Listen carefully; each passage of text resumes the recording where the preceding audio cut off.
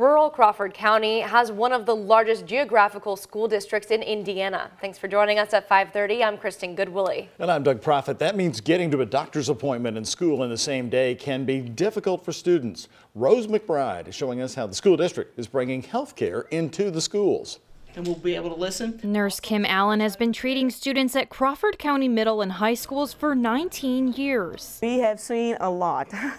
Probably could write a book by now. But she can't treat everything. Sometimes the student needs a doctor's expertise. That's where some new technology comes in. Through our hands, we'll be able to communicate with them. They'll be able to tell us when to use an otoscope be able to check for ear infections, things of that nature. The Indiana Rural School Clinic Network funded a telehealth system called TytoCare for three schools in the Crawford County Community School District. Say a student comes into the nurse's office with a cough. The nurse can then talk to a doctor through Tyto to see what's going on. It is easier, more convenient. Harrison County Hospital professionals like nurse practitioner Michelle Shear are on the other end of the screen.